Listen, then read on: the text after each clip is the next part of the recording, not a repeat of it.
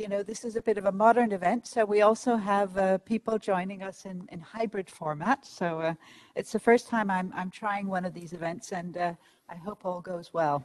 Um, Ernst has assured me that uh, he will he will step in and help us on all of the technicals. So just sitting here today, um, I think it's really interesting that when we when we look at what's going on around the world, we uh, we're really uh, having this event against the backdrop of a of something of a perfect storm in European electricity markets. And we also see this uh, having ramifications around the world. And we've also seen that China's power markets are having their own issues, but also link into our issues here. Now, of course, there are very many things going on in the electricity market. We see some of this links into uh, renewables. Some of this links into perhaps questions on energy efficiency. There are specific questions on the gas market. There are questions also on geopolitics. And then, of course, there are also social concerns. And we touched upon some of these issues uh, previously. Lord Stern spoke about some of these challenges that we see. Now, I think the key point here is, of course, the argument is not that we should abandon the climate transition because we see frictions. Rather, to my mind, the question is how can we engage policy action now to ensure that these frictions don't become more severe in the future. And also, very importantly, be cognizant of the fact that the transition will have uh, frictions in it. There will be some unintended consequences, and how we can ensure that we manage these uh, consequences and these issues. Now, I'm delighted today to be joined by a very distinguished panel. And uh, I won't I won't take up time with panel introductions. I'll jump right in, and uh, I'd like to start off with uh, EU Director General uh, for Climate Action, Mauro Petriccione, um, and just ask the question on prices. Let's uh, come back to this question of of carbon pricing. Now, markets are getting very excited about carbon prices. We've seen that over the past few weeks. And um, we see that pricing is clearly a very important pillar in the EU's Fit for 55 program. So, Mauro, I wonder, can you give us a, a bit of a state of play on where we are on Fit for 55? What we can expect over the coming quarters, and also maybe just zooming in on this price dimension, share some of your thoughts also both in terms of the, the risks. We've touched upon inflation and some of the concerns there was a question earlier, but perhaps also some of the opportunities that this can rise. Over to you. Thank you very much. And uh, first of all, thanks for the invitation to this panel. And uh, it's very hard to be the first to take the floor after Nick Stern. Um, and uh, I would be very tempted just to say that uh, uh, he has once again expressed with enormous clarity uh, what we're trying to do, and, uh, and leave it at that. But I'll try. I'll try to answer your question as brief as I can. I mean, carbon pricing is the backbone of our system. It's not the only element. We do have a combination of carbon pricing, regulation, standards, investment, and social measures. So it's the whole package that Nick Stern was talking about. But carbon pricing is at the core. Carbon pricing versus carbon tax for Europe, it was a pragmatic choice. Uh, given our institutional setup, if we were, uh, if we had chosen to go for a carbon tax, we're probably still debating it uh, instead of having had a carbon price for now uh, more, you know, 17 years. It doesn't always work the way we wanted, uh, but it has prompted already, even in times of very low prices, uh, power generation and industry in Europe to make the right choice. Uh, power generation started decarbonizing early. We've had for a long time four or five percent decrease in emissions every year. And industry has invested in energy efficiency improvements which have helped also its competitiveness. And uh, uh, in 2019, the first uh, pre, the last pre-pandemic year, we had a reduction of emissions also around four, five, four and a half percent. So industry also started investing in more radical um, technology change. Um, all, all, that to say that without carbon pricing uh, of some sort, uh, an effective carbon pricing, you cannot have a serious climate and energy policy. Uh, and um, once we've chosen the the, uh, the market as an instrument, as I said, more for pragmatic reason than anything else, uh, we're now trying to make the most of its uh, advantages, which is flexibility and, and the ability of companies to plan uh, their investment around avoiding the carbon price. Uh, now, we managed to strengthen the price signal already um, before the Fit for 55 package through you know we had suffered from a glut of uh, certificates uh, because of the uh, fall in emission after the financial crisis. Uh, we had in the system international credits of very dubious value. All that is gone uh, we've introduced automatic mechanisms to regulate liquidity in the market, and prices have uh, started rising relatively fast. It is true we've seen a big increase this year, from about 30, 25, 30 euros a ton at the beginning of the year to uh, around 60. The last auction uh, today or yesterday was 58 point something. Um, if you look at our calculations, this has to rise this has to go up over the decade. Uh, and that's why the uh, proposal to strengthen the system, because at the end of the day, uh, without uh, a sufficient price signal, uh, people will not invest in decarbonization. Now, for us, investing in decarbonization means investing in new technologies, means investing in state-of-the-art technologies, also means investing in regenerating our industrial apparatus and making it modern and competitive, something which we, uh, we, we, we, need. So the Fit for 55 is articulated around this, but it also has a huge aspect of uh, targets, targets on uh, renewables, targets on energy efficiency, targets on CO2 emissions of cars, um, regulation, uh, investment, the point that Stern was making at the end that we need to grow out of the pandemic, but we we have a choice on which kind of growth we have, uh, is at the heart of the uh, European Green Deal, at the way we have uh, agreed our new seven years budget and the Next Generation EU program. Um, the green recovery, uh, which is a recovery. It's an it's a strategy of economic growth is, is, is essential. So it, it's a complex package. We now are uh, at the stage of explaining it, explaining its interactions, explaining its complexity. And uh, we're looking forward to um, the beginning of political discussion with member states. There's one aspect which is emerging as more and more crucial in that, and that is of uh, um, the just transition but just transition has many aspects. There's an issue of solidarity within Europe, a large, solidarity between member states. Uh, there is an issue of uh, solidarity between regions, which sometimes cut across national borders. And there is increasing an issue of solidarity between within our societies. Uh, and the point you were making the energy prices uh, goes to the heart of that. To us, it's clear that the, the current spike in energy prices is not caused by the, uh, the carbon price. It's caused by the dynamic of the, of the gas markets. But that doesn't diminish the seriousness of the problem, and it underscores the fact that a transformation of this magnitude, something which necessarily will pass through increased energy prices in the short to medium term, although we did not expect this kind of spikes, uh, needs to be managed. Needs to be managed because there are parts of the society that can afford um, uh, these increases. They should afford these increases because we have not priced the real cost of the cheap energy that we've had so far.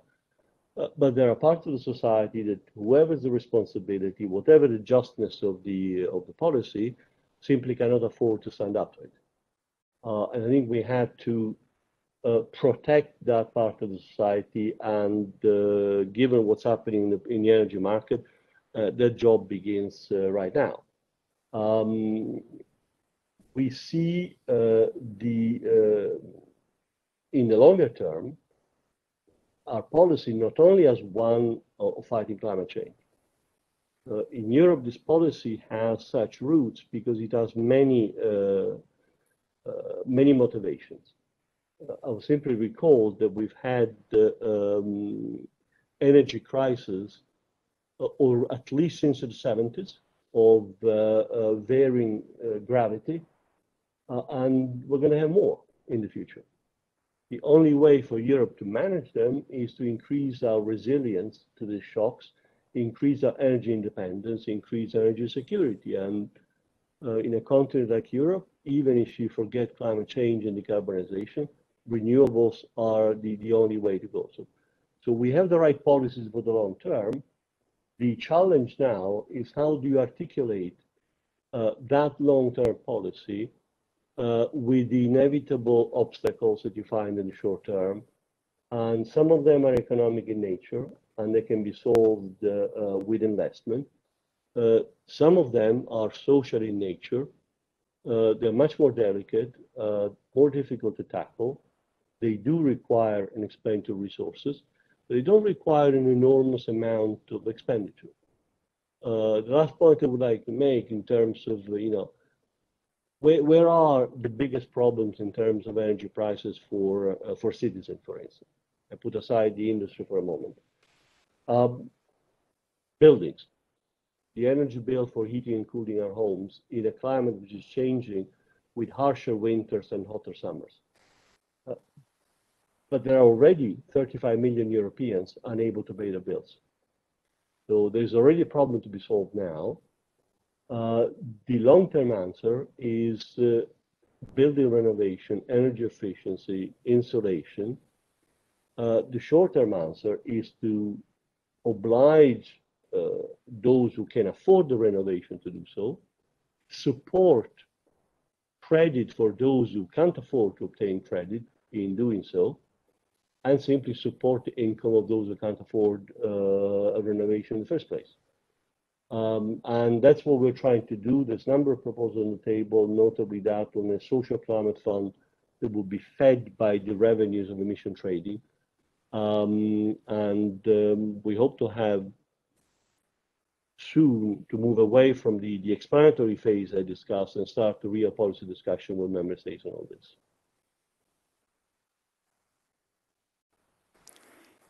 Thank you very much. And um, I think when we when we look at Europe today, indeed we see uh, very big changes on the policy front happening. But of course, it's not just um, on the Commission side we see these changes. We also see a, a lot of change coming on the central bank front. And indeed, uh, 2022 will mark a, a very important year for Europe. We're going to have the ECB presenting the details on the climate dimension of the new monetary policy strategy. And I think also very importantly, um, we will see the first round of ECB bank stress tests uh, on a, on a bottom-up exercise. We've already seen some exercises taking shape in 2020 and, and uh, seen some results coming out last year as well. So I think these are going to be uh, very important uh, points for us to watch. Sabine uh, you are an executive board member at the Bundesbank, and I'd like to turn to you and ask you which role do central banks play? Which role should central banks play in this equation? Yeah, thank you very much. Um, and I thought that Nick uh, already gave an answer. Well, we do, we are not the major player in town, but we have an important role. Let me put it that way. And I see the role of uh, central banks twofold. First of all, we all, as central bankers, have to reflect the impact of climate change on our mandates um, because, well, talk about financial stability, about price stability, uh, banking supervision, this all is affected by climate change. And our second role is definitely to address the urgency to act towards the governments or to the political decision makers. Um, so I see our role twofold. Let me start with you know, reflect the impact of uh, climate change on our mandate. Let's start with the core mandate is price stability. We just discussed it. We will see, you know, a price uh, dynamic um, due to, you know, climate policies, most probably. But we will also see, and we see that already in Brazil, that droughts and floods might also have an impact on food prices and uh, other prices. Um, we also uh, have to deal with financial stability. Central banks will have and do have already a look at the financial risk um, due to climate change, and we all are aware of the physical risk. We see floods like we had this year in Germany, with a great uh, uh, financial impact. We see wildfires, not only in Australia, California, but also in Europe. Uh, so this is a tremendous uh, physical risk, but at the same time, we see also transitional risk. So the risk that the real economy uh, does not adjust easily towards political decisions that may come too abrupt for them, right? And of course, we are also some central banks are also dealing with um, banking supervision. So of course, it's our task when um, doing banking supervision, to ensure that the financial flows of the financial industry gets sustainable, right? This is our task. But let me turn to, I think, uh, a really important role, the role to address the urgency to act. Well, why is this our task? I see this as our task because, first of all, we do have the analytical capacity, and Robert uh, pointed it out very well in his introductory statement. Second, we do have we are data owner. Third, we do have the credibility and the independency, so I think we have to play a role. So what does this precisely mean, addressing the urgency? Well, what are our means? And we have started uh, at the Network for Greening the Financial System. This is an international um, network of central banks and banking supervisions um, to deal with uh, climate change. And then we have started uh, to show different scenarios. So we did a scenario analysis, and uh, this year we will have a refined version of that. So what is this about the uh, scenario analysis? What are we doing there?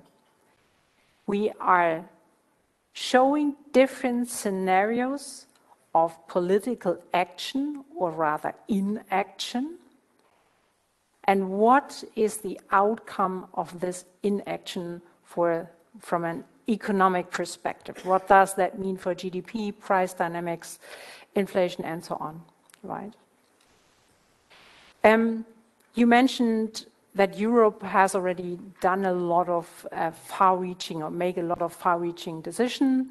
Many of you will be familiar with the decisions we just made this July. Um, I think this was really milestone uh, what the uh, Eurosystem did there.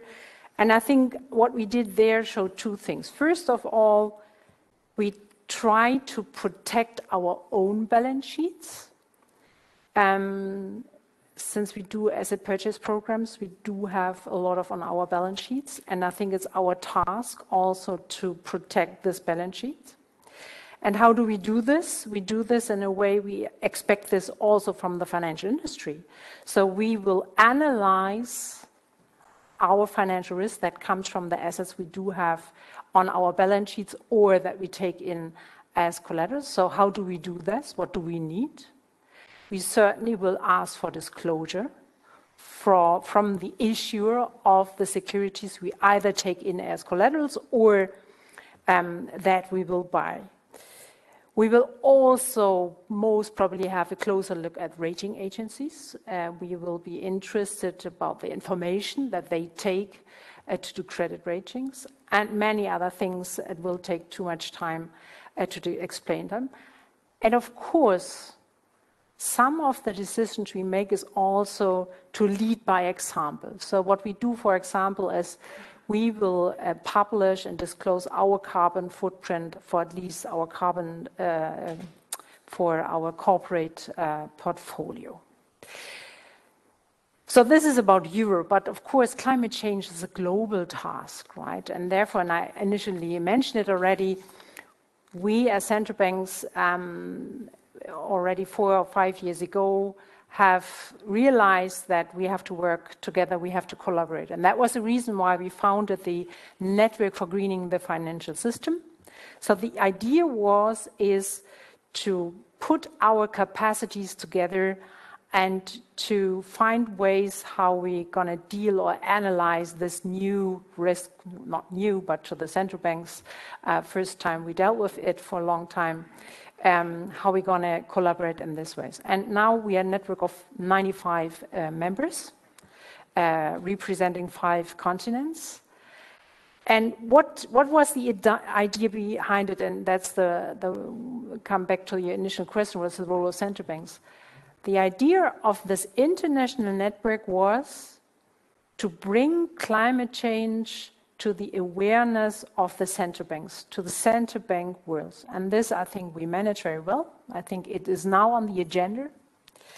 So the question is what we will do in the future, because you said it's about now and not about the far future and not about the past. So what I think uh, what we will do at this international level at the central bank area is first of all we would like to be more integrated so we will have a global perspective also integrated developing countries. And the second thing is we will do more sandbox work. So we see ourselves as a laboratory right? And i think robert you said that think tank, right, was your term, I think.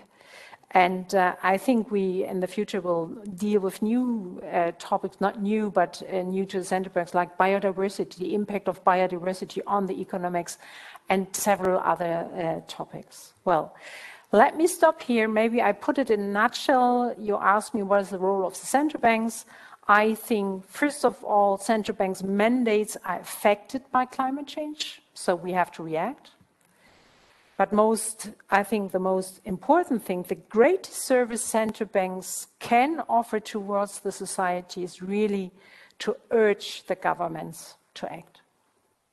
So thank you very much. And indeed, uh, there's quite a list of topics that are popping up in our debate here today.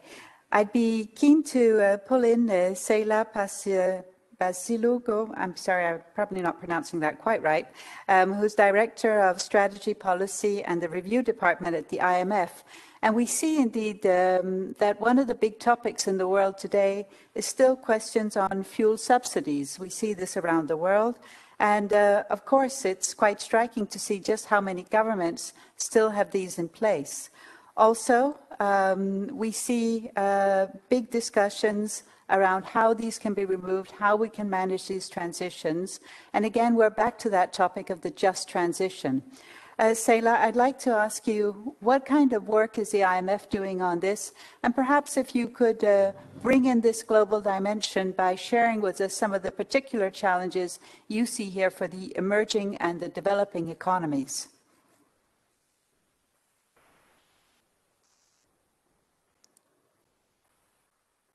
So I don't know if we have Ceyla on the line here.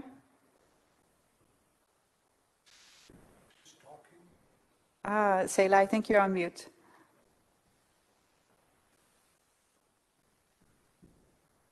Can, can the technical teams help by unmuting?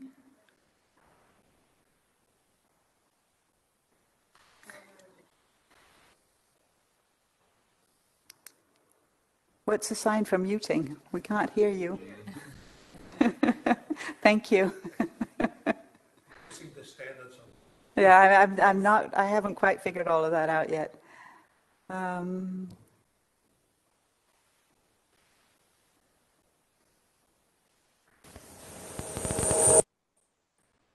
ah, there was a sound there. No taking pictures of me while I'm doing these elephant ear signs. That's just not allowed. so. Right. Ceyla, um, we can't hear you. Not sure if you can hear me now. Ah, fantastic. Yes, we can hear you now. Very good. Okay. Thank you. Okay. Sorry about that. Um, Thank you. Thank you so much. And many thanks to the Austrian Central Bank and SUERF for inviting me to this very important discussion. I, uh, as you said, I wanted to talk about the need for fossil fuel subsidy reform and carbon pricing, which were mentioned um, uh, already now. At the fund, we have been advocating for a while now to get energy prices right, reduce reliance on fossil fuels, and to facilitate transition toward renewables. And we just published a study um, which highlights that global fossil uh, fuel subsidies have increased in recent years, reaching around 6 trillion in 2020, up from an estimated 5.2 trillion in 2017. And just 8% of those of that total reflects explicit subsidies, which is basically undercharging for supply costs. 92% is actually implicit subsidies, undercharging for environmental costs, about 70%, and foregone tax revenues. So I, am not going to go into detail, but uh, as I advertised, we just published a very comprehensive uh, study on this. And absent reforms, these costs and total global fossil fuel subsidies will increase further, undermining the important efforts uh, that are going on right now. So there is a clear need for fuel subsidy reform and implementing efficient fuel pricing, so letting uh, fuel prices uh, to reflect their true cost by removing these implicit and explicit subsidies could help cut global carbon dioxide emissions by well over a third by 2025, as you can see in this chart, and align mitigation efforts with the Paris Agreement to keep global warming to well below 2 degrees. And ending of fuel subsidies would also prevent nearly a million premature deaths a year from dirty air and raise trillions of dollars for governments, nearly 4% of global GDP in revenue. So how do we get the price right?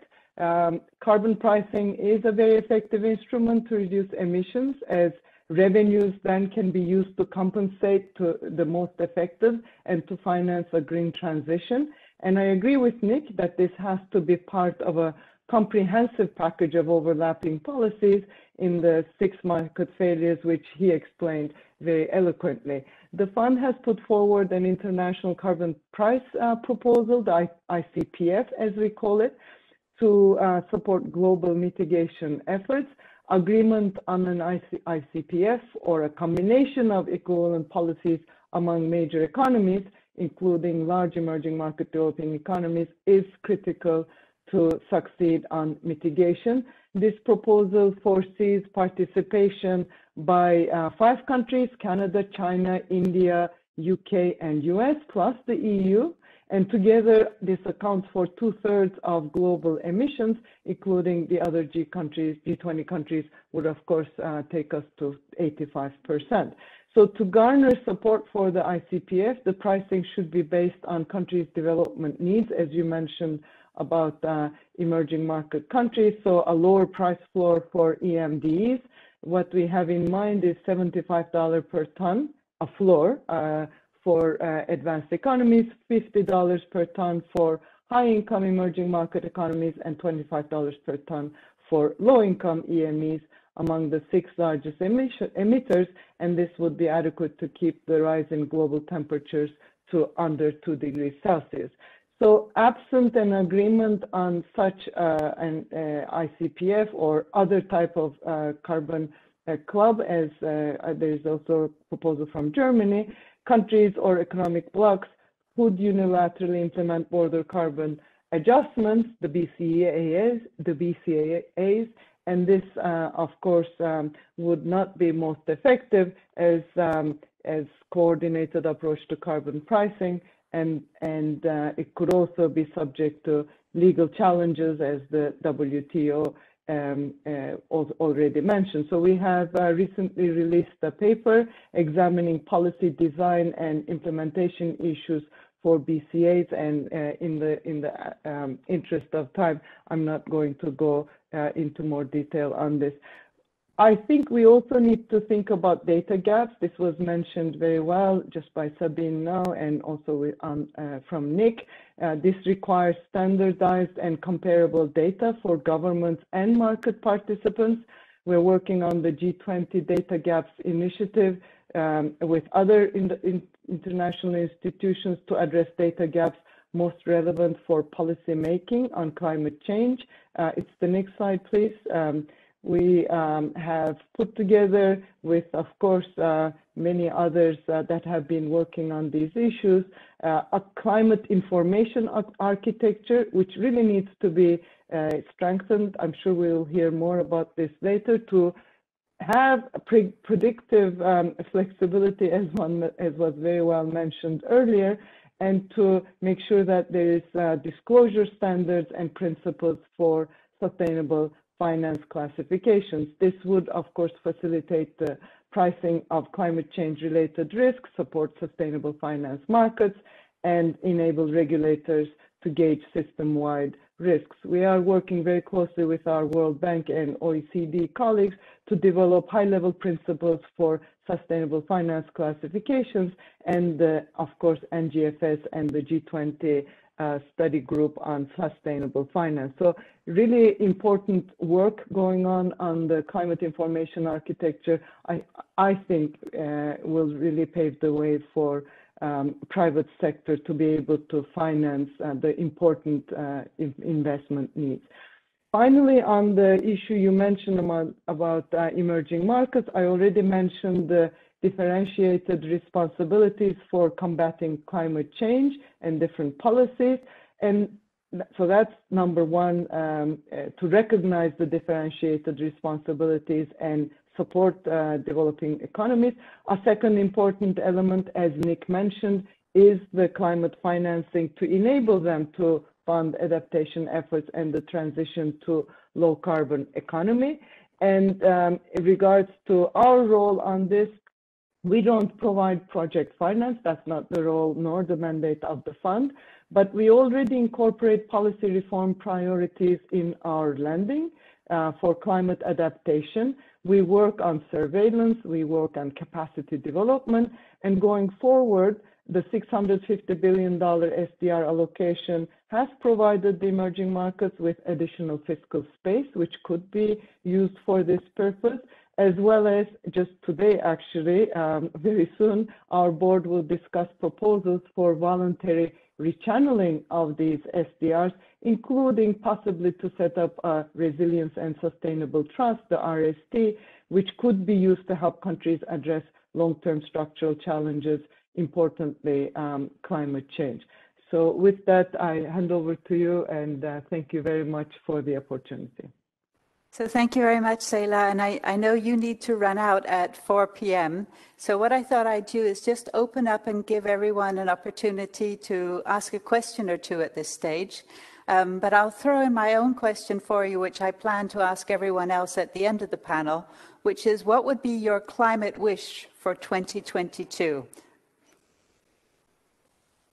My climate wish for 2022 is that the um, multilateral institutions come together and coordinate on this very important agenda because they do have an important role to play. So collaboration among us, I think, is expected. And for my part, we will do all we can to do so. Sounds very good. Are there questions in the audience, either here in Vienna or Ernest uh, via chat? Please go ahead. Um, Yes, uh, we have one question. Oh, sorry. Thank you. Thank you very much for intervention regarding uh, disclosure of uh, information regarding green information. Uh, my question is um, in the European Union, EU taxonomy is already in place. Would be this the best practice model for other countries and regions? So I don't know, uh, Mauro, if you would like to pick up on this, or uh, everyone feel free to, to jump in, please. Happy to say a word, but I'd be curious about uh, others' views as well. Um, taxonomy could be a model, perhaps not identical, but uh, because it is the one we've written, it's uh, very influenced by um, the debate in our society. But the principle, I think, is the right one. But just to be clear, the taxonomy isn't an absolute uh, standard. Taxonomy is uh, a consensus on what today means having a very green economic activity.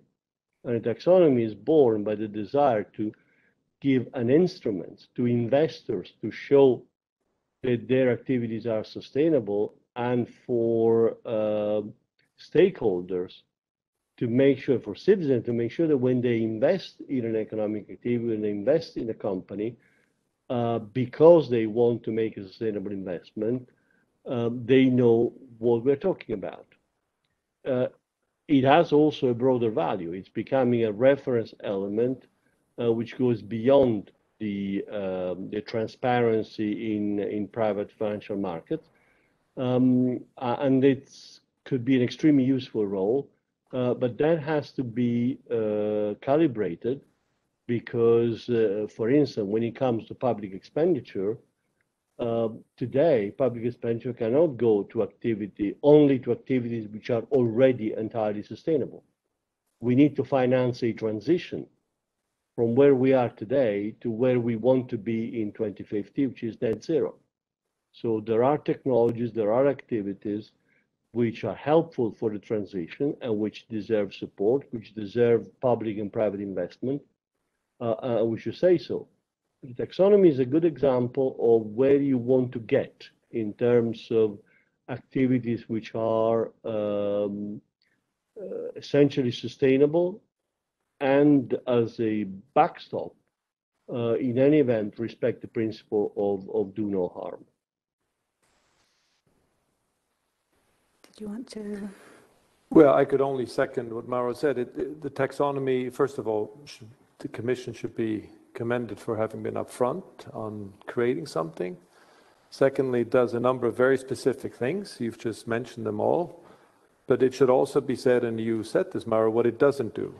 It doesn't give us an instrument, a standard for channeling capital into the transition, which if you look at the, at the overall challenge that Nick laid out so nicely, is of course the critical piece.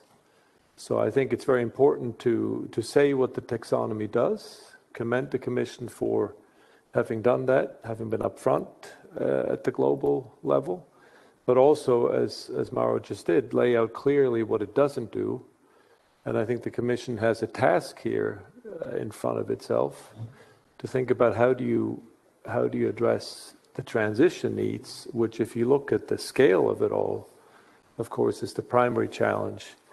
And the more we can do that at a global level, uh, this goes back to Ceyla's point about the multilateral cooperation, the better it will be to find a way to help uh, private capital to mobilize into the transition. Yanis, did we have a, another question? Sorry, I'm, I'm looking at you, Philipp, and I'm, I can't see Yanis. No, I'm, I'm hidden, sorry. Yeah. Uh, we, we have a question uh, about distributional consequences, uh, whether make-up payments, uh, which is a usual economic recipe, uh, would be a way to go and how this might be engineered at the global level. Thank you.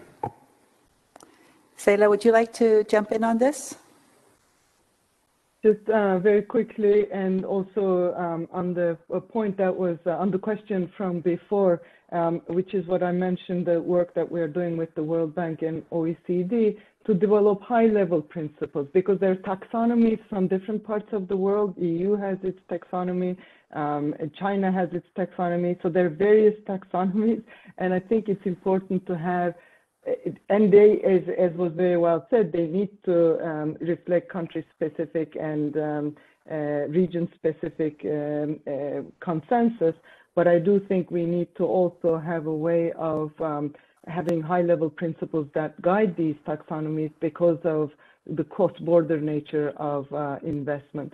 Um, so that's on that one. On um, just transition, yes, uh, this is one of the issues um, that is that we are looking at and studying carefully and having it at uh, make-up payments at global level, but also other ways of uh, introducing taxation and um, redistribution of revenues to those that really are most impacted by it by monitoring and um, targeting carefully where those um, uh, uh, payments could go. So yes, uh, very much agreed that this needs to be uh, put together as a global initiative given the also the trade and other interlinkages across countries.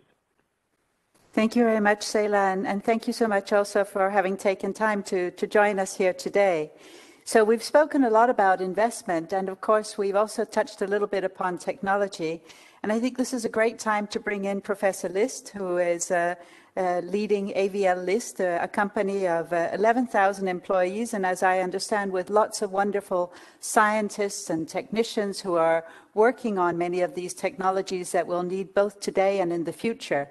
Uh, Professor List, uh, when we look at the challenges for investment, how do you think about that? What are some of the issues that, to your mind, are important to, to drive the technology forward today?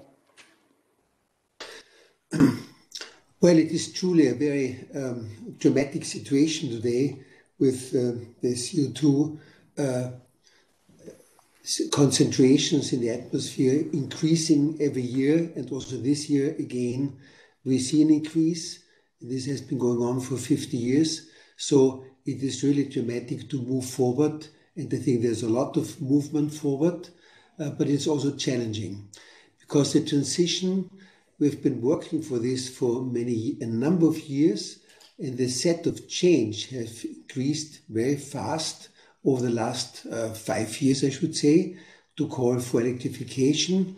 And even though we have provided for a number of years in research, did our first hybrid some 20 years ago, did uh, our first electric vehicle some 10 years ago, and uh, uh, so did our first, started our research laboratory on fuel cell also some uh, almost 20 years ago. Uh, the speed that's taking place now in the uh, in the electrification is very fast. Even though we are quite well positioned, we have already 60% of our sales volume is in electrification. Uh, and we are typically, to talk about our business model, we are provider of engineering the work to the uh, to the uh, global OEMs, particularly in Europe and also tier ones in the or in the work of uh, cars and trucks and other vehicles. Uh, and as such, uh, we need to fulfill the requirements as defined by the law. These are typically CO2 levels, used to be emission levels, still are, but that's for the side of, of, of, of, internal combustion engines, which was a big part of the past. But we have well transitioned to the level that today we have 60% of sales volume is in electrification uh, solutions, both uh, research and development work we execute, but also all the test systems and all the uh, simulation tools that exist that are so important today uh, already adapted to also the electrification needs. So it was a big transition, and we are still right in the middle of it. Uh, what happened at the same time that often, let's say, contract funding, research funding uh, from the OEMs uh, were kind of slowed down quite a bit, have come back again. So uh, we are going to see good growth again next year. And so it's a it's a challenging time, but also an exciting time. What does it mean? We have to, we have our own, typically we can uh, take on jobs uh, to support our customers in their transition into electrification of all kinds. Electrification has several avenues. It's battery electric. It is also hybrid and, uh, and plug-in hybrid. I would put under this also. Uh, but also fuel cells are very important. And even in the truck area, you see avenues towards uh, uh, hydrogen being used also in engines, uh, but also all in fuel cells. So there we see the truck area, for instance, uh, we see a big variety of, of different solutions that are competing with each other. In the passenger car, it's pretty much straightforward towards battery electric, with some degree of hybridization, which I think has a good valid, is a valid approach to Uh, increase the broad basis for electrification and allow fast electrification on that partial level, which still is very effective to bring down CO2.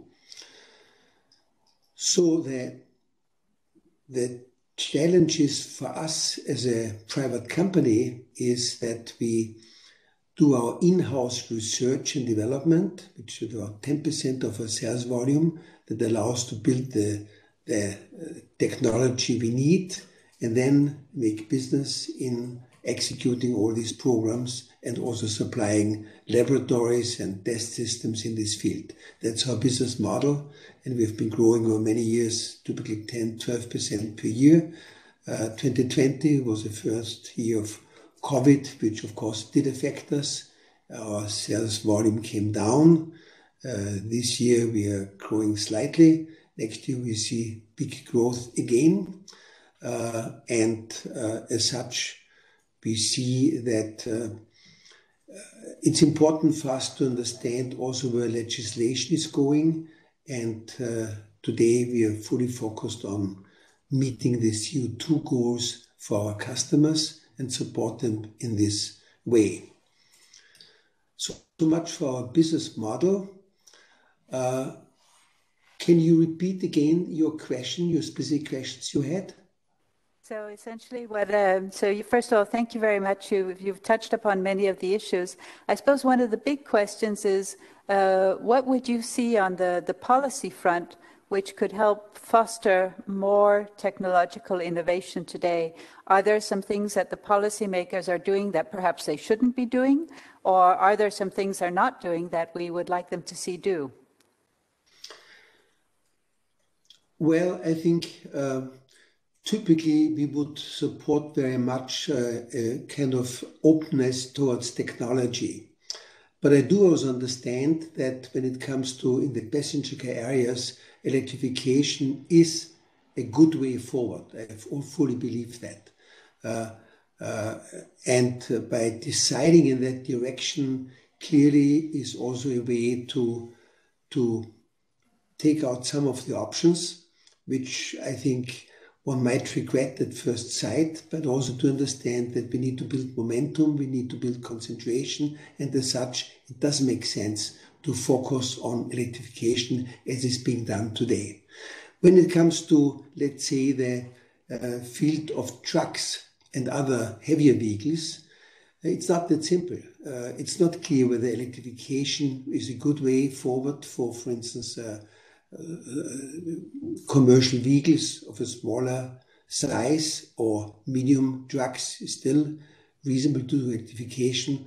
When it comes to long haul, we have to evaluate different solutions. And today in the industry, you see both uh, uh, pure electric, you see also uh, the move towards hydrogen and very strongly, and it's very much supported by the European Union, and it is very much uh, in the forefront uh, for the future.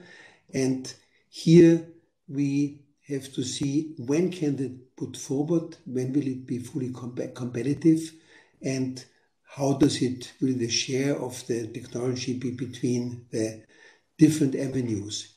And there we need an openness to different technologies, where the solution will partially be hydrogen used in uh, internal combustion engines. That's absolutely valid. Would be CO2, of course, is CO2 neutral uh, and is a good way forward. And then at the same time, we have invested a lot in fuel cells. I'm happy to do this work also. So there is a a good example of a valid openness of technology, I think. And we see that this competition is done. And here we also see that we uh, we um, see that support should be given in that case. In that case, in this specific case of the truck, I think it would not be quite right to say it's not okay to burn hydrogen in internal combustion engines. Even though they don't have a good reputation, because it's a very valid way to go forward. And it could be the fastest way to forward. But then, on the other side, if it's forbidden, uh, then there's a concern, is it something we could invest to? I think here is a good example, again, where we should be open and technology, the freedom of technological choice should be there. I think the government should set uh, clearly what is the policy, uh, what is the important uh, laws that protect the, the, the societal needs. That is very clear. But then the choice should be left to the industry and to the researchers to find the best way forward. So that's a, that's a point I would like to make in this specific area of, of trucks, for instance. And I think it's understood that it should go that way. But sometimes, uh, in general, uh, it is a very important principle because uh, research, if you really believe truly in research, it is by definition not predictable what the outcomes are. We see very quick changes over time in different directions.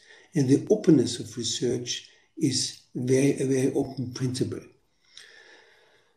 Uh, so that I would expect from, from policy in general. Uh, then I think what is also very important that research investment in companies is supported. Uh, this can be by tax means, uh, which I think is done uh, quite well in Austria, I have to say that. Uh, it's also has different forms in different countries. It's a very important principle. It should be supported. Uh, and then, of course, what I think is a great uh, act of maybe not, spe not specific policy, but it's a, a, direction which all governments agree in Europe. And we have the, I think, the great example of the European research, European frameworks, the uh, Horizon 2020, which has just ended, and the Horizon Europe, which is just in the started already successfully. We, as, as a company, very much, I think, participated. I think we also could contribute from time to time very well in participating in these uh, research programs uh, very much. And it has helped us a lot to develop technologies early on and come with solutions when they are needed. Also, in this phase of electrification and the huge transition we are making, European research programs are very important. And also here we uh, expect the, a good, uh, high need of openness. There are some limitations which uh, we take as what they are. That's, that's okay. Uh, but overall, we see a good openness, and that is very good, very great. The key is that it really helps us to, to fulfill our customers, their needs, uh, to be very competitive for the world market. And uh, so I think that is one of the policies. Of course, you, the many uh, organizations that are present here have their play of uh, regulations and of how they, with their policies, do it. We don't, as a company, and maybe even our customers, uh, the car companies and truck companies, uh, don't realize that how much of a let's say sophisticated and hugely important uh, play there is between the different players as you are here in this in this room uh, uh, but we see the effect of course in the end uh, for us it comes in more simple ways in kind of legislation we have to fulfill with our future solutions Thank you very much. And indeed, I, I think you raise a, a, very important point, both in terms of the question of making sure that we don't uh, set legislation to predetermined technologies, that we have that technological openness.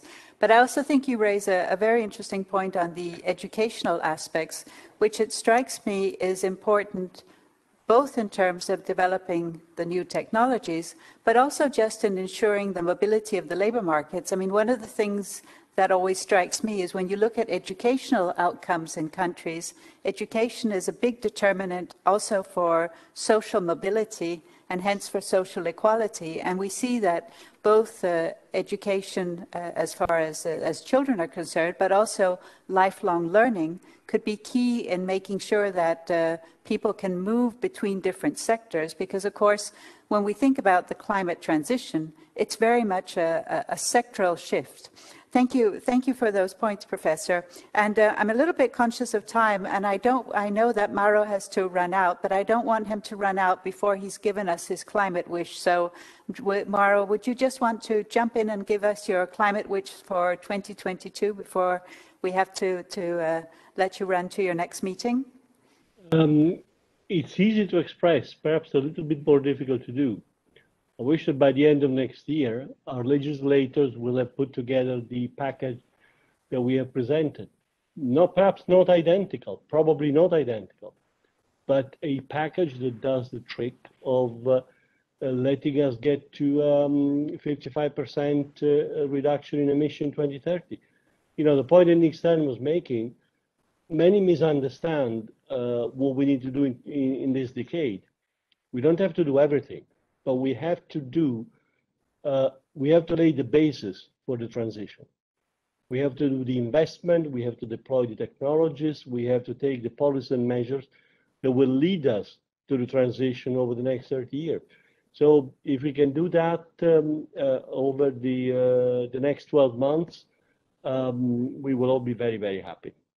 Thank you very much for uh, for inviting me to this. It was great discussion, and I'm sorry, I, I cannot see the end of it. So thank you very much for joining us, and, and I think uh, it's it's a very good wish to have. Um, I think that's the whole point of wishes. We don't always know if they come true, uh, but they're certainly uh, good things to have with us. Philipp Hildebrand, you are vice chairman in the, one of the world's largest, if not the largest, asset manager. And um, what we've seen is uh, quite a lot of excitement in the markets around green investment. In fact, uh, we're beginning to talk about some potential bubbles in green assets. And um, it seems to me that there are, there are different variations around this bubble thematic. There's one which relates to concern that investors are, are, are running behind what is still a, a, fairly low supply of these assets. There's concern as well about issues like greenwashing, that perhaps there could be some problems ahead on this road. And then perhaps there's a further concern on how we make sure that we get the funds also to where they're needed. One of the things that really strikes me today is I see uh, a number of companies looking to Scandinavia, going into Scandinavia, um, looking for renewable energy sources. Whereas one could wonder, wouldn't it make more sense to go into some emerging economies and develop those renewable energy sources that we actually don't have yet? How do you think about this uh, as, as an investor, and, and how can we think about these challenges? Thank you, Michaela. I don't see the left side of the room, so I'm going to get up because when I finally see real people, uh, it's nice just to actually see them face to face. So, Mikhail, I think your points are very well taken. And if I had to summarize one sentence that lies behind everything we do at BlackRock uh, on the sustainability front, it's really that we believe that we are at the beginning of what will very likely be the largest reallocation of uh, capital in our lifetime. That is the root, the foundation, if you like, of our entire strategy around uh, sustainable investing. This tectonic shift of capital has begun. During the last two years, and I'll give you some internal numbers here, we have already seen very significant flows on our own platform into sustainable investment products. This year alone, our clients have invested nearly $200 billion uh, of capital into our sustainable product offering, and we have thereby doubled in one year, our sustainable asset base from $200 billion to 400 billion. Uh, now, not surprisingly, we're also starting to see the impact of these flows on the real economy. And this is a point, of course, that Nick uh, raised several times earlier today. Uh, a growing gap in the cost of capital um, between green and brown companies has emerged. And I view this as a very promising uh, development. For companies favored, and again, I'll give you some internal uh, measures here. For companies favored by BlackRock's low carbon transition readiness framework, for example, the cost of capital has been lowered by as much as 40 basis points, which is pretty significant in a very short uh, period of time. Now, as you as you mentioned, Mikhail, some have called this uh, or are worried about a green asset bubble in the making. But such a view assumes the past is a good guide to the future, and, and as the investment small print says, uh, it isn't in this particular case. For today is one of those rare moments in history when we know not just that the future will look very different to the past, we also know how it will be different in the sense that we know that net, the net zero economy will arrive. The science of climate change, as you have shown us, Nick, is irrefutable. Um, as one of my colleagues has recently said in an internal meeting, once you've seen the data, you can't unsee it. Um, the physics are there. There's nothing we can do about it in terms of denying it. It is irrefutable. The economic and human costs of our current linear economic growth model and the associated continued carbon emissions are so great that governments will act. We do not know precisely how, and we do, we do not know precisely when, but the net zero world will arrive. In that context, the price of and constraints on emitting carbon are going to rise to truly tra transformative levels in coming decades. The transition to a net zero economy is a decades long process and will impact every region, every economy, and every sector, and ultimately, likely, every company one way or another. Although what we are seeing at the moment may feel like a rapid acceleration, it is in fact only the beginning of one of the biggest structural changes the global economy has ever undergone. I, I, believe that the only comparable structural transformation would have been in the 19th century when we introduced fossil fuel into the global economy. And, and in a sense, I guess what we're doing now, Nick, is we're kind of trying to reverse engineer uh, what happened back then. It means that investments that looked safe in the past could be existentially risky in the future. And investments that looked very risky in the past uh, will turn out, could turn out to be very much uh, resilient. Investors are therefore doing what they always do, and frankly, what they should be doing. They're looking at risk-adjusted returns. Once you see that, it is clear that the reduction in the cost of capital for green companies is a mere foothill before the mountain ahead. To say uh, that there is a green bubble, uh, in my view, is therefore to ignore the coming vast economic and financial transition to net zero that has only just begun. Sustainable investments today are only a small, a very small part of the global investment universe. They're growing very rapidly. Our sustainable assets are growing much more quickly than the overall asset base. But if you look at the stock, not, not at the flow, you will see that uh, they make up only a very small part of the global investment universe. We are so far witnessing only the beginning of a massive capital reallocation. As more investors become alert to these new risks, and show a preference for sustainable investments, we will see more flows into investments that are aligned with net zero. The IPCC estimates that about 50 to 100 trillion dollars in capital investment is needed to achieve net zero by 2050. To put this into perspective, this is the equivalent of at least 10 Marshall Plans a year uh, for three decades. On the other side of the equation, companies that fail over time to align themselves to net zero, uh, to a net zero economy, will pay an increasing price. And the same, of course, holds true in our business for investment managers. Investment companies that fail to enable investors and clients to manage these new risks and seize the new opportunities will be left behind.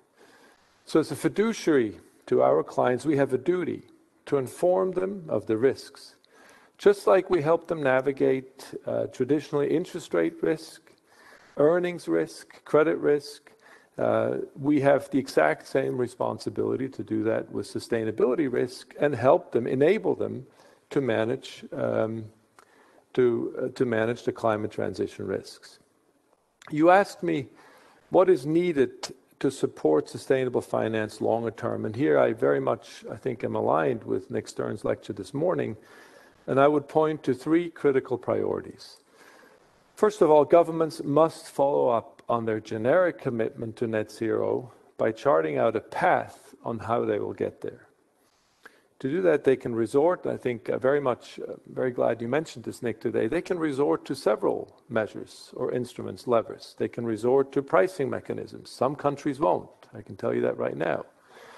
Uh, they can resort to standards, or they can resort to direct regulation or even intervention. And I was very glad to hear you put some perspective on the extreme focus uh, on carbon pricing, particularly when you think about the US uh, political situation.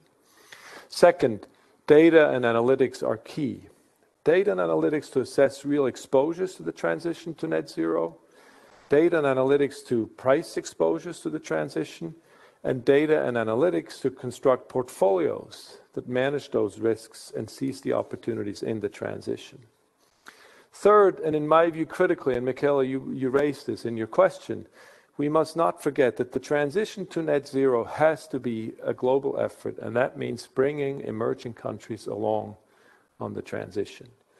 Emerging countries are not only the most impacted by climate change in many cases, they are also least able to afford the consequences and need support to meet the challenge of building net zero and a net zero economy. Far from reducing emissions, emerging markets are on track to see their emissions grow at even faster rates in the decades ahead.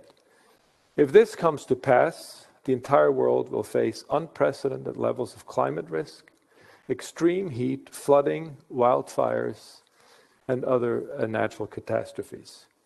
Achieving the net zero transition in emerging economies will require investment in green technology and infrastructure at an unprecedented scale.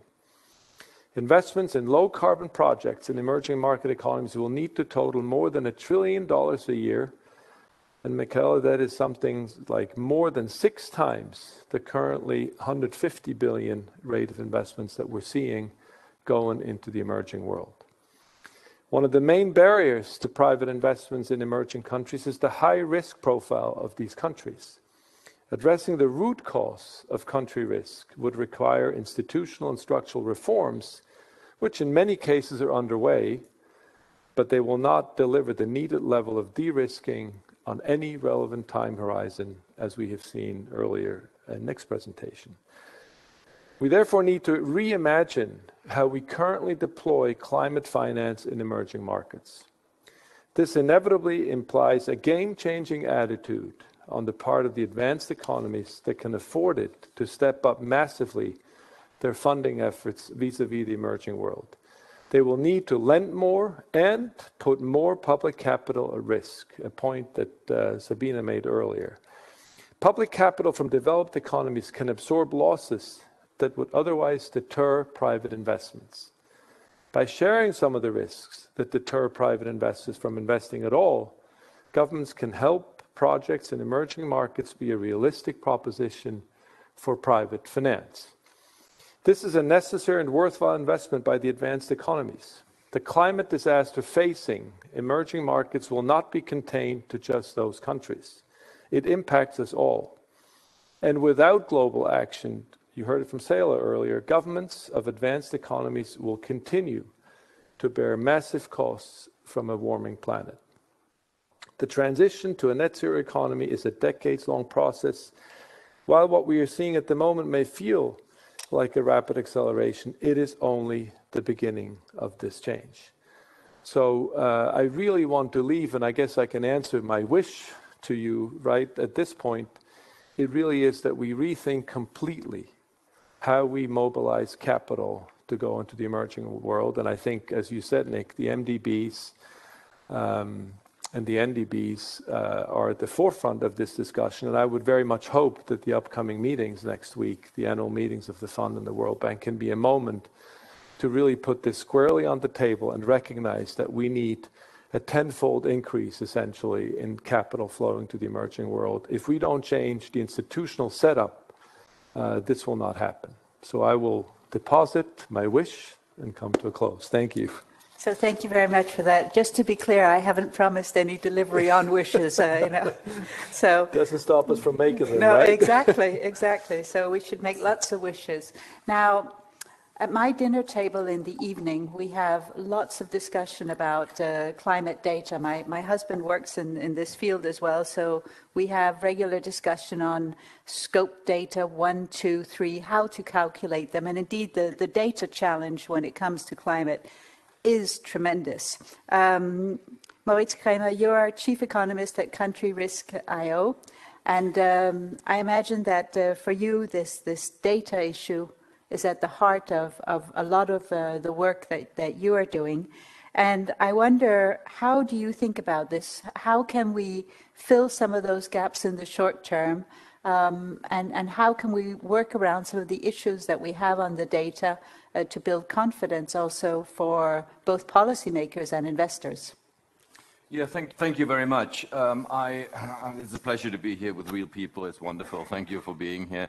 It's, um, maybe I should say a few words because CountryRisk.io was maybe a tad less well known than BlackRock or, or, or the Bundesbank. Um, so this is actually uh, uh, an internet platform um, trying to make uh, sort of government or, or country ratings, uh, including sovereign ratings, ESG ratings, a public good by providing an easy to use platform um, for, for everyone. And the background to this is, is probably one of the reasons why I'm sitting here for almost two decades. Um, I was um, a, an, uh, a, ratings executive at S&P and, and, running the, the sovereign ratings uh, team analytics uh, for the last couple of years.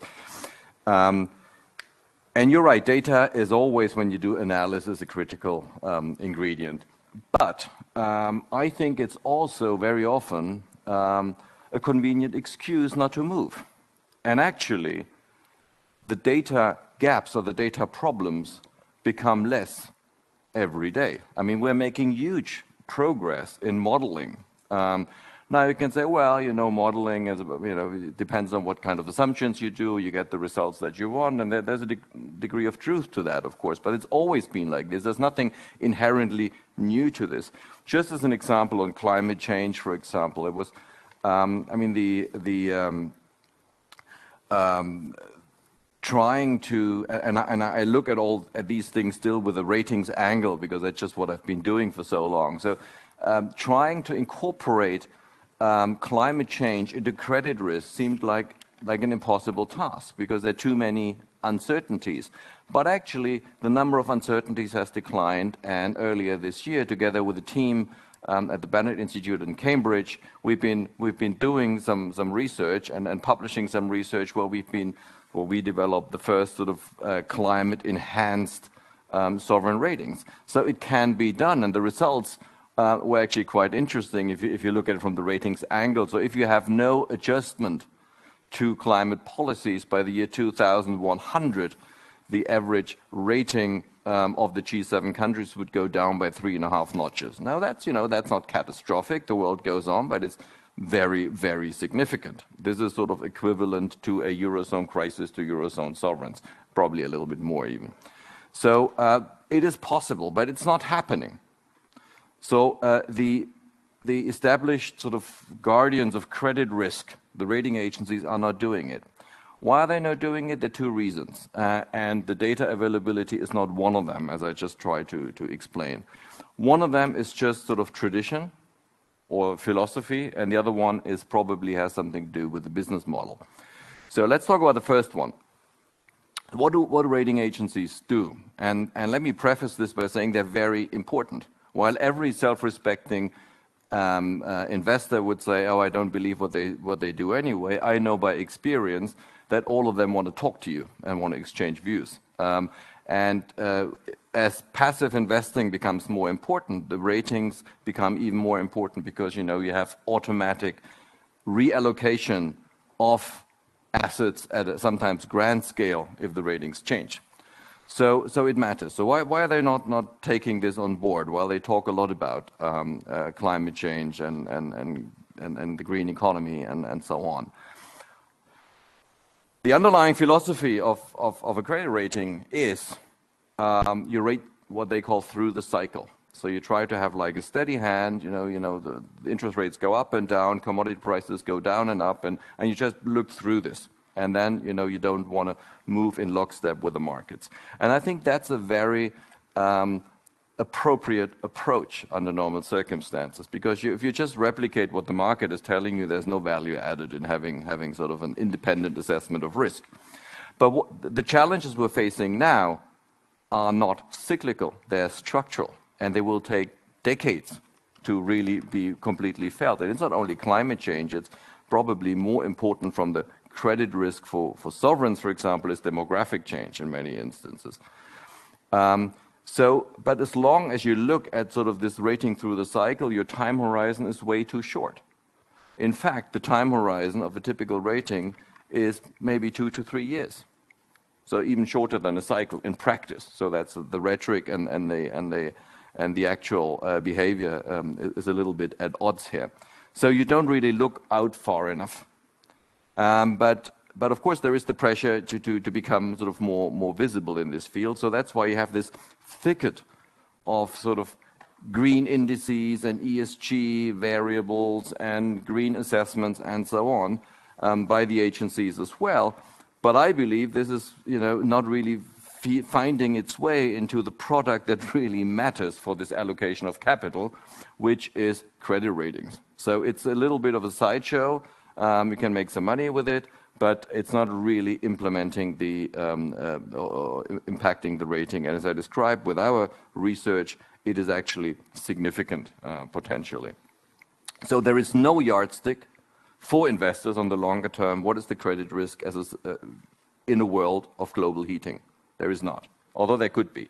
The other reason why it's probably not happening is has to do with the business. No one is really interested in having that, other than maybe some people in this room and along this call. Why, why is no one interested? Well, the rating agencies are not very interested in it because if you do it, you would have to tell your clients your rating is likely to go down, um, if, and that's not a good, good message to convey. You make a client unhappy, and maybe you lose them. So, um, you know, why would you say that in 20, 2040, 2050, your rating might go down by two or three notches? And we calculated and modeled that. So there's no interest here. Um, there's no interest in terms of the regulators. You know, if you look in Europe at ESMA or the SEC, what kind of interest would they have to force rating agencies to say, well, show us sort of what your long-term assessment is, although you, said you know, the ECB tries to do that, but they, I, can bet they're looking at corporates, they're not looking at governments, which really matters because it's with government bonds where everything stops, and we've seen this last year in, um, in COVID, this is what matters. The biggest asset class, and it's the asset class of last resort. So the regulators have no interest in forcing the rating agencies to do something that hurts their political masters' ratings. And the third interesting the group that comes in here is actually the investors that you would think have an interest in these long-term credit assessments, which are buy and hold investors, pension funds, insurance companies, and so on. They have enough problems right now. So, uh, you know, while they should, they're not standing up and say, look, give us some long-term real risks. What are we really holding in our books? Because that would make their financial situation even more difficult than it already is. So there is like a, a, a cartel of silence. No one is really interested in this. Everyone says it's important, um, but no one is taking any action. And it's not because of data. And that's sort of how, you, how I started, and that's where, where your question started. The data availability is getting much better. And if you look at at how, how the agencies work. You look at, you know, they're trying to assess contingent liability from a financial crisis. Now, is financial crisis easier to predict than climate change? I would say no. I, I think we know climate change much better than when a, when a financial crisis hits, where and how. We are surprised every single time. Um, so it goes on that we have a, uh, a credit um, classification or rating of a two-year bond being exactly the same as, one, as a 50-year bond, saying the default risk is the same on both. That's patently implausible. We know it's not the case. We know that the, that the risks and they're not cyclical. That, that's sort of important. So before you could do this because there were cyclical risks. You know, you have oil prices going up and down. At the end, you're broadly in a similar situation where you were at the beginning. But here we're not.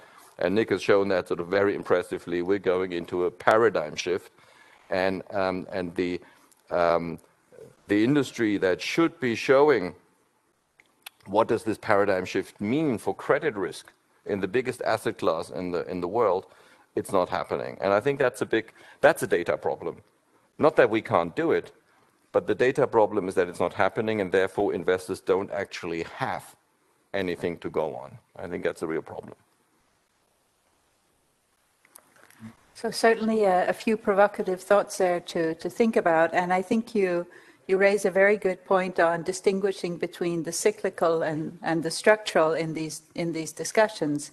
Uh, because indeed it is uh, many of those structural changes um, that we're really beginning to see just right now. And it, it strikes me, you know, you also touched upon this, Philipp, um, when we look at the global economy today, our focus right now is on, on climate change and, and the transition related here too.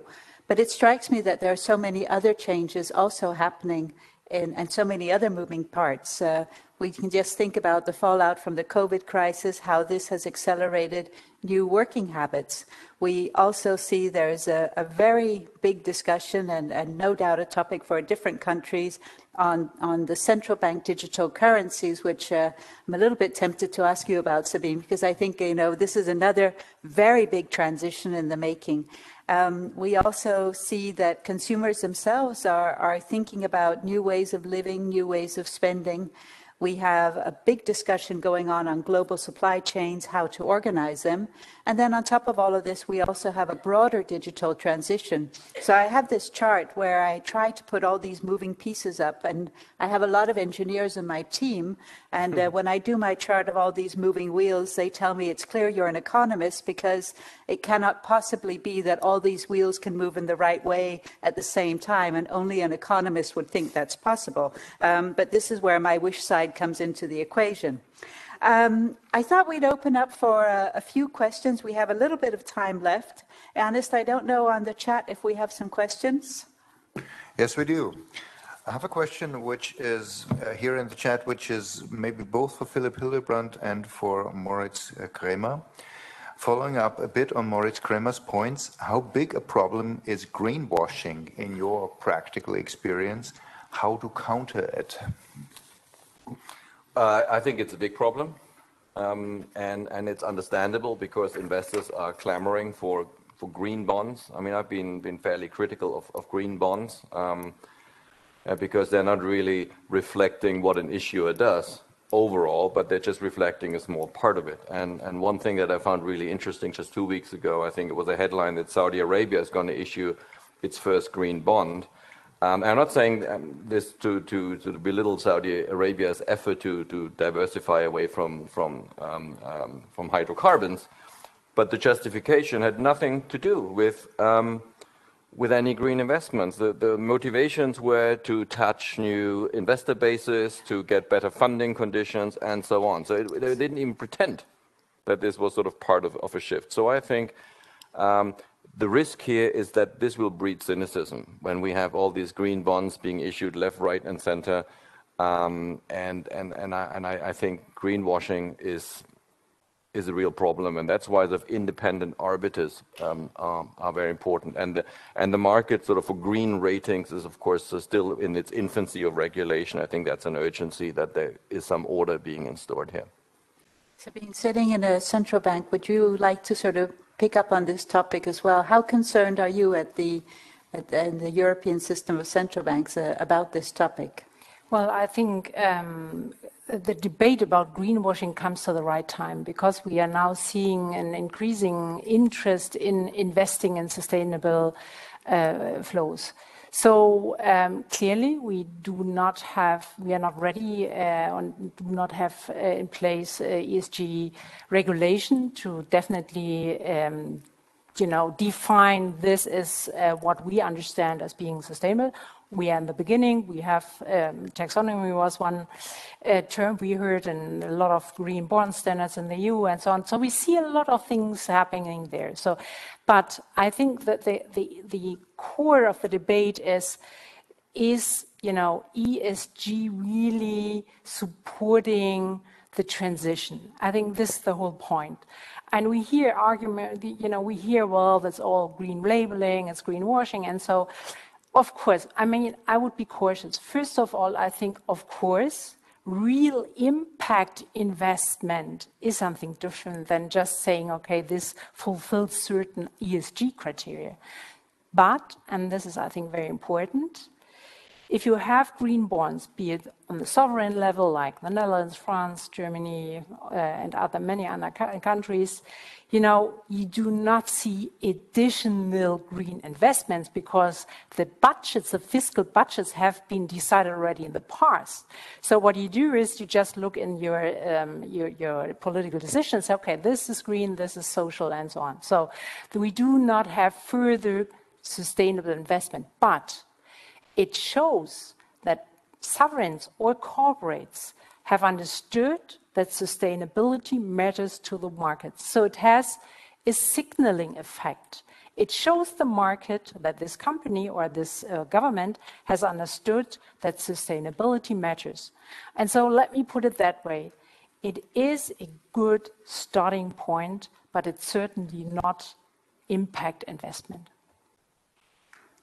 Thank you. Philipp, did you want to jump in? yeah. I could just add it, it's a challenge for the industry. It's, um, I would also say that if you get caught out, and we've had a case of a major asset manager in Europe who ran into problems with the commission, this is, you know, it can be very costly, both from a reputation perspective, but also from a business perspective. So there are real incentives if you're serious about sustainable investing to do everything you can to avoid falling into that trap. Now, it's it's a difficult story because everything is evolving. Uh, we have some regulation now, very helpful in Europe. I think the new regulation defines what can be labeled sustainable, so that's a good start. And we're actually very grateful for that because, in a sense, it makes makes it easier to adjust the product range in, in Europe. We don't have this in the US, so in the US, it's it's a moving target. Um, as we said, the analytics, the data is evolving. I'm also not so pessimistic about this. I think, you know, we're heading in the right direction, but it's also a moving target. So the best thing you can do as an asset manager is just to put out a lot of transparency, to really say what it means when you label a product uh, sustainable. And if you look at our ETF platform, for instance, we list exactly on the on the web page for every product, every ETF we have, you can see what it is, how much of a CO2 reduction is implied by a particular ETF being called sustainable, what kind of upgrade you have on other ESG factors. So I think the answer for us as an industry right now is, in a sense, to, to be very positive towards regulation that stipulates uh, the definitions and at the same time really be very transparent so that the client sees and the regulators they see what we label a sustainable product and why. And that's the approach we're taking. But I think we have to expect that this is a, we're on a journey here. This is only the very, very beginning. And in fact, everything you've said about sovereign risk, you know, uh, reconfirms my hypothesis that we're at the very beginning of this. Uh, this is only the beginning of a vast reallocation of capital. And this notion that the market is perfectly efficient and everything is already priced in is just nonsense. I mean, I've learned the hard way during the financial crisis that the market efficiency hypothesis uh, cannot be right. And, and I think, as we've heard from you, Nick, today, uh, that's not true here either. And, and so, you know, we're at the very beginning of this long transition. Thank you very much. Um, and indeed, uh, I, I, having been through a few market crises myself and a few moments of exuberance, uh, I, I, think we can all agree here that uh, this idea that markets price perfectly in a smooth, nice way and can be used as a disciplining force uh, doesn't quite work out. I they always tend... say, you know, risks were highest when the spreads were lowest. Uh, exactly. running into 2008. so that tells you something that the market wasn't exactly. They're, they're there when you, when you don't want them to be, and when you want them to be there, they're not quite there. So it's a, indeed quite a challenging situation. I'm, I'm conscious of time, Ernest. I don't know if we have time for one or two more questions. Yes, we do. Uh, should I should I just bring them So why don't, and- why don't you throw the questions Yeah. out and then we'll allow everyone to react to them. And if there's a question in the room as well, we can, uh, I think I have three interesting questions here, and you choose whichever you uh, find uh, suitable to answer to. Uh, First question is addressed to Sabina Mauderer. Is the ECB's strategy to tackle climate change legitimized by its mandate? Then there is another question to Moritz Kraemer, Philipp Hildebrand, and maybe also Ms. Mauderer. How abrupt might the adjustment in the business outlook for brown industries uh, B. What should creditors and stockholders be aware of? Might it be wise to withdraw from these industries early to guard against unpleasant sudden surprises? And then I have a question um, for Helmut List. Uh, technological progress is also a function of the scale of an industry. Have we passed the critical mass in e-mobility for a massive boost in R&D to ensure that batteries and motors will be will in the near future no longer be the technical, economic, nor ecological bottleneck for e-mobility? Could we expect some sort of herd behavior into green technology once the train is running? Well, what I, I, I think uh, let's start by, by picking up on the last question and, and bring in Professor List. Uh, Professor, do you think we are reaching that, that tipping point on technology? Well, I think we see today a good uh, positive gradient, a quite a big gradient uh, towards uh, battery electric uh, uh, electrification. I think that's a good sign.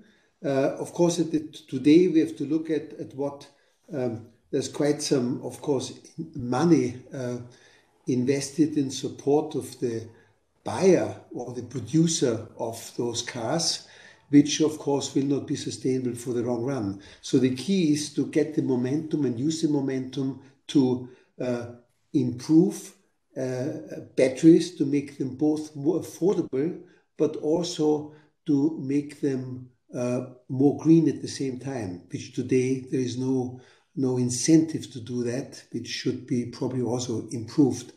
Uh, but I see very positive in, uh, move in investment. We see in Europe uh, what is very important that the cells, which are the core of the battery, of course, uh, are getting produced in Europe more and more.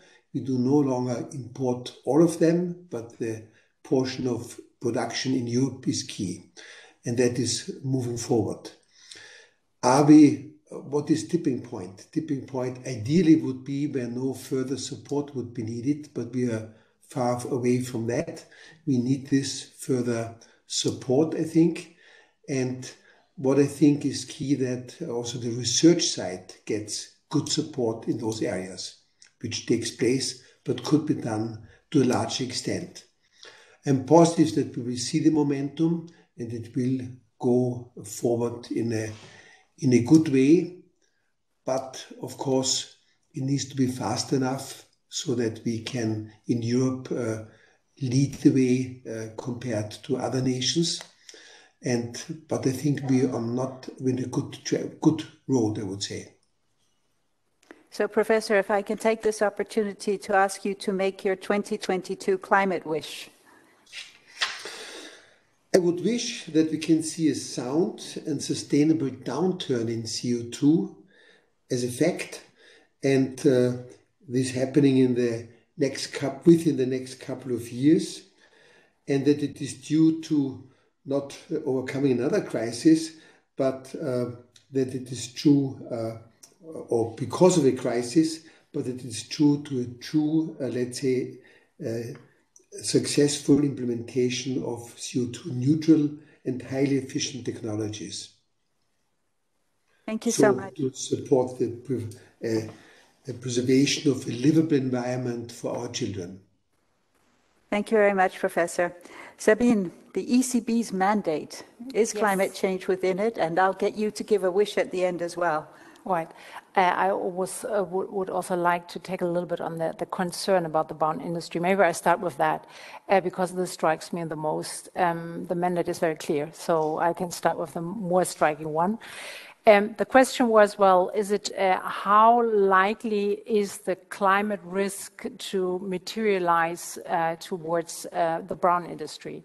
First question, what is brown industry? I guess it's meant uh, by CO2 intensive activities. So um, let me put it very clearly. Um, the risk that the, the risk is getting higher the more we see political inactivity you know, what the, the industry need is certainty, planning certainty.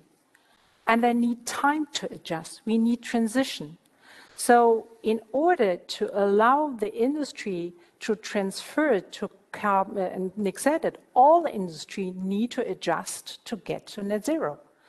But how are they going to make it? And we need all industry because otherwise we will see social tensions and we will not get the society to back our transformation policies. So therefore, it's one, one, once again very important to see political decisions now. Um, the question whether you know we would recommend to divest first of all central bankers do no, not at all give advices how you spend your money. But um, i think you trigger a very important point is about how to deal with brown industries.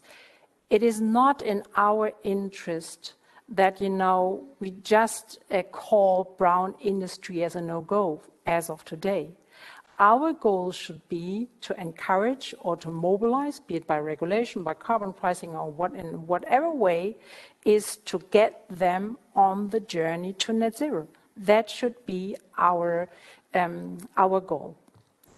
Uh, now the, uh, the question about the mandate. I have expected this question and I'm very glad that uh, one of the audience raised it because this is a very valid question and we've dealt with it. You, all of you know that our Bundesbank is known to be very traditional in keeping on its mandate what is price stability and therefore of course we have thought about this question very thoroughly. And as I said in the beginning, climate change has a big impact on our mandates.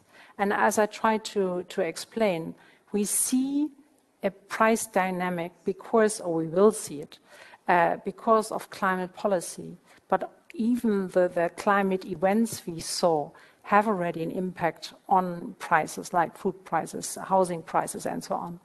So price stability is, you know, be affected.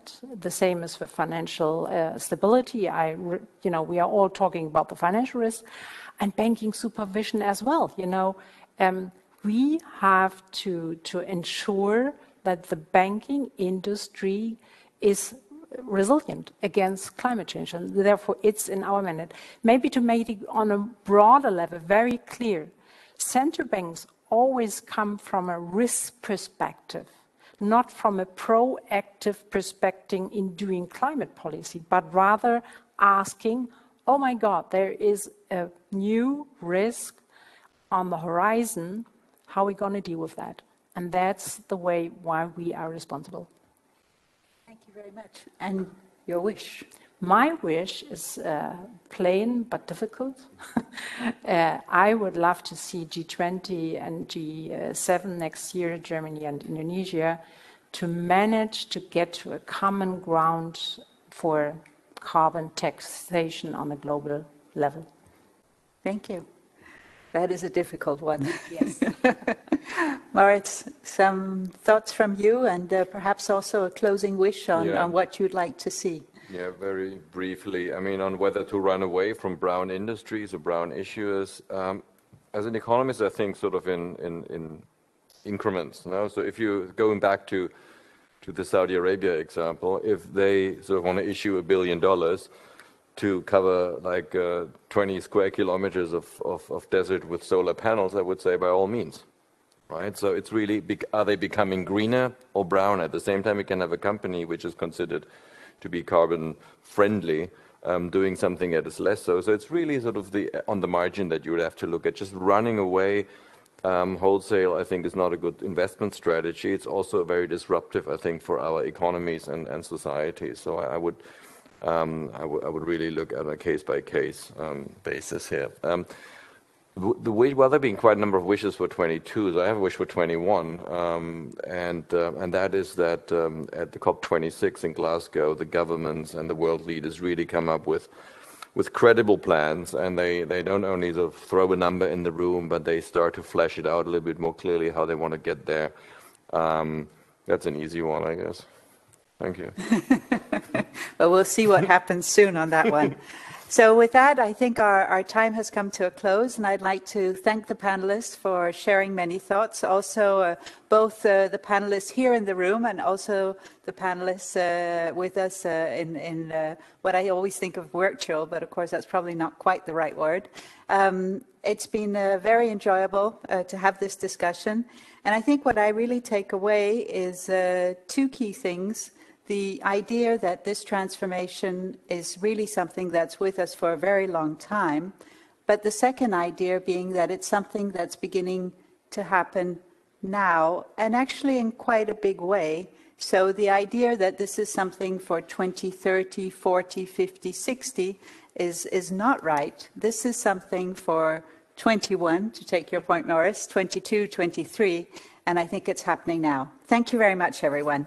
And I will hand over now to Harald Mahrer for some closing comments. Thank you, everyone.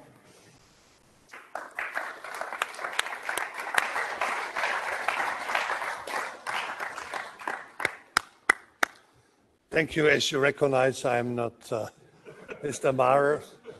Uh, he needed, unfortunately, to stay in bed. Don't worry, it's not COVID. Uh, we are all tested, and I was asked to, on his behalf, try to, in a few words, won't take more than an hour, uh, to bring uh, the session to a closer.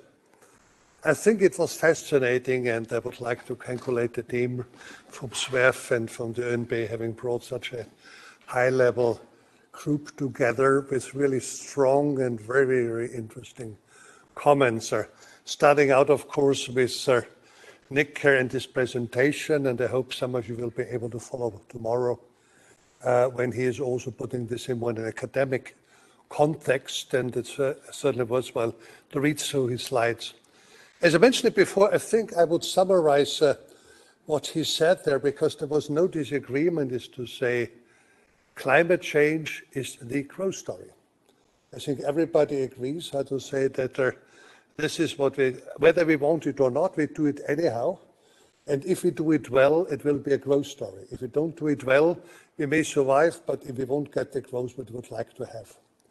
Now, from the many very good interventions, the question now is what I distilled, it's my personal one, out of the different uh, uh, comments which were made there, starting out with the European Union. Mauro, and also, as he put it in his vision, what he would like to have is, we made a great program, the policymakers should sign off to it, and let we go.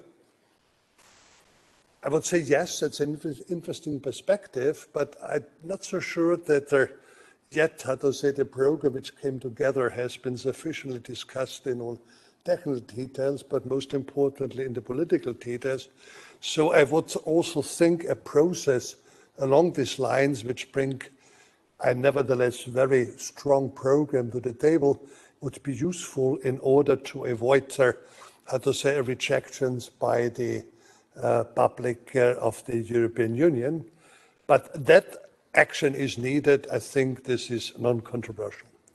Second part, ECB, we just heard, uh, and here uh, Sabine speaking uh, uh for the ECB here, is uh, I think the thing she mentioned at the beginning, a really correct one. We are in the in the game because we are very much uh, Dutch-based through price developments, uh, through any kind of uh, other elements in the second, third order degree. And what you also mentioned is, and we believe it, because I think uh, as an independent institutions, we are able uh, to broker concepts, but also perhaps broker some of the processes there. And I think that's an important uh, aspect to it. And this applies also, if you want so, to the IMF, which, uh, of course, uh, works closely together with uh, central banks, a minister of finance. and uh, what uh, Ceyla has discussed was quite interesting, only to take one part of it when she said, How high are the implicit subsidies there? Five to six trillion. Well, spending should be relatively easily found if only in a share of this money were to be used not for subsidies, but were to be used in order to finance uh, uh, the uh, climate change. Uh, we had a number of institutions which gave good advisor uh, uh, to uh, the few people who actually will do the change, which is entrepreneurs. And I was happy to have Professor List here because, uh, uh, of course, he always shines perhaps larger in Austria, but he is really one of the key institutions inventors, starting out until recently being the most important uh, diesel motor producer in the world, but only the small ones, but the big ones for ships and other parts of it. And I was astonished to hear that uh, they're already at uh, 70% electricity there. And so already he, as a producer of an industry, contributor to the industry, has made a major change. But one of the things which struck me most, because uh, perhaps it resonates with me well, is the question of uh, government.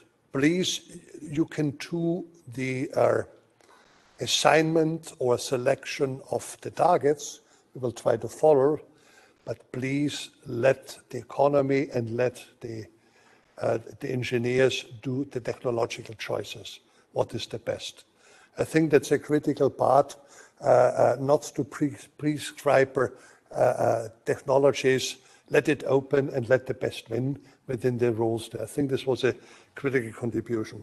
And last but not least, uh, what we heard here from, uh, how to say, uh, uh, key uh, people working on financial markets, uh, Philipp Hildebrand and Fritz Kraemer, was to say, Philipp said, well, we will have the biggest capital reallocation the world has ever seen, if I quote you correctly.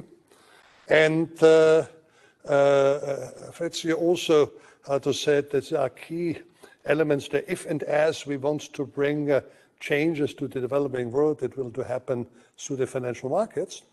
But what you both also expressed very clearly is, uh, perhaps it resonates all with me, you know, we need the financial markets, but we are not so sure that the efficiency hypothesis works so well. Which of course raises the question, what to do? How can we establish uh, the mechanism of capital reallocation given what we currently have there? Who are then the drivers? We certainly don't want to have, how to say, the government decide how much money goes to the south. I think uh, by itself this would not be okay. But also, we cannot only rely on the financial markets to make this choice, or at least, uh, how to say, without clear, what is it also, public uh, sector guidance, which may come from the G7, from the G20 or other institution, but without that, it will not happen. And in addition, there, uh, it's not only an economic question there, how do you take the money from the north to the south? What we also have is uh, we have a problem of legal instruments to bring it uh, to from the north to the south. The eminent group of experts, I think 2018 or 19, produced the reports in which it was clearly laid out there if and as we want to bring uh, again capital to the south, we need to have the correct instruments to make it happen. But for the time being, I haven't seen too much progress in this area, and it will be needed. With that, I'll just say, uh, let me go back where we started from with Schumpeter, which is that Schumpeter said there that uh, the, the, uh, the dynamism of uh, capitalism is uh, creative destruction, but of course, this is a necessary condition.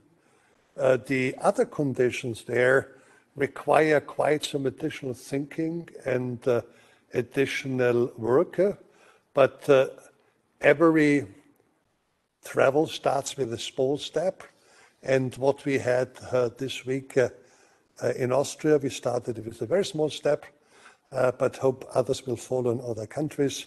And I want to thank you again for your participation, for your very good comments there. I hope everything will be noted and also written up uh, so we can share it to some extent. And uh, with this, uh, as they say in English, the meeting is adjourned. Thank you very much.